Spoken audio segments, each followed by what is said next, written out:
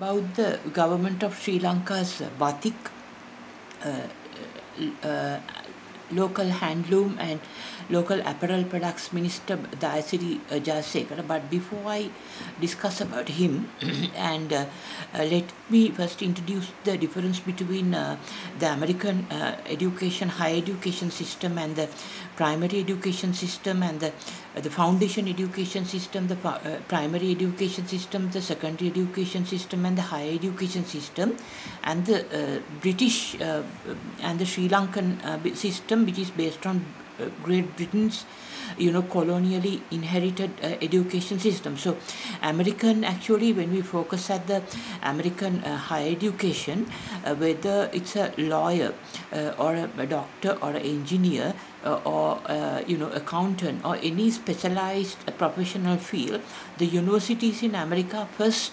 make it compulsory state universities uh, and federal universities to under for them to undergo a bachelor's level degree in multidisciplinary areas covering even even if someone is more, uh, planning to become a doctor in future or a lawyer or an accountant or a microbiologist or in any field or, or an astronaut or any field first the student has to follow a basic degree giving overall multidisciplinary education in all fields like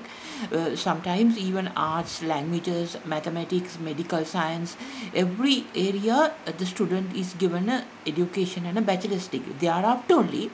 they are they can apply for their specific uh, related areas. Now say for example somebody wants to be a doctor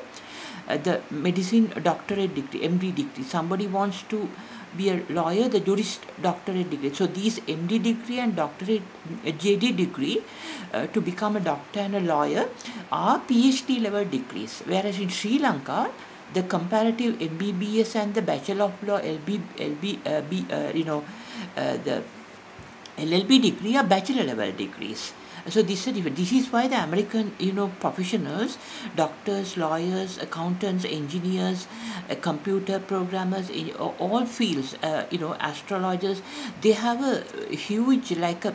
uh, better knowledge uh, and they are better focused since they have a wider knowledge in all areas prior to their special specialization at the PhD level. I think Sri Lanka must look into this American education system being incorporated into one of our universities uh, so that students have an option you know decide uh, whether they uh, follow this American based system or the British based system. Actually American education system is far superior than the uh, British education system when it comes to higher educational qualifications and professional you know uh, jobs. Because in professional areas we can see it's the American citizens who have excelled in business or medicine or uh, you know engineering or legal profession or whatever the field it's the Americans who are dominated because of their far superior professional education system which is based on a professional you know, rather a university degree at PhD level to become a,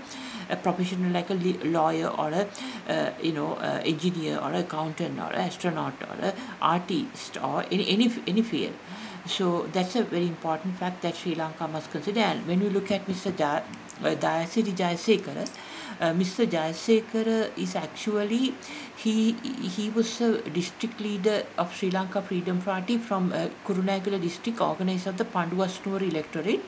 So Panduwastunuwara electorate is refers to one-time historic capital of Sri Lanka, the Panduwastunuwara uh, kingdom of northwestern province. Uh, so the thing is, uh, Mr. Dayasiri Jayasekara, when we look at his, you know, personal life matters, and as I mentioned earlier, uh, maybe his university education spoiled his focus towards the country. Because he later uh, focused after his university education and uh, being attorney at law in 1997 he pursued a shortcut method of uh, looking into the government financial management course uh, in uh, Australia and also he followed a conflict resolution course in Switzerland. So I think this spoiled him uh, because in 1997 during the heightened time of the war he he he focused uh, on the uh, conflict resolution I think uh, as a shortcut method to promote socio, uh, socio-economic progressive steps, uh, you know, as a shortcut to emerge, uh, make his emergence uh, through these uh, Switzerland-based organizations who talk about human rights and then come into prominence while the war was, you know, fought in a very terrible way in 1997. Uh, so uh, maybe that has misdirected Mr. Dayasiri Jayasekara's, uh, you know, path, and this has to be investigated. Let me introduce that in the next video.